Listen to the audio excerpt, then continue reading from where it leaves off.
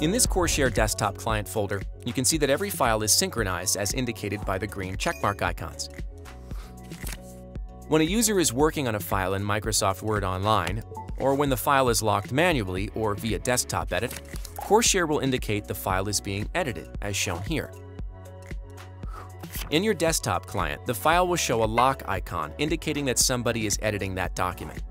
When a file is locked by another user, you should not make edits to that document to maintain version control.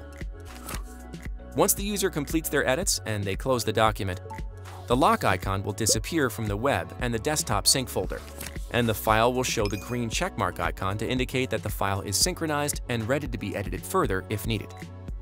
You can also lock and edit a document directly from your desktop client folder by simply right-clicking the document and selecting Lock the document will instantly show the locked icon in your desktop client.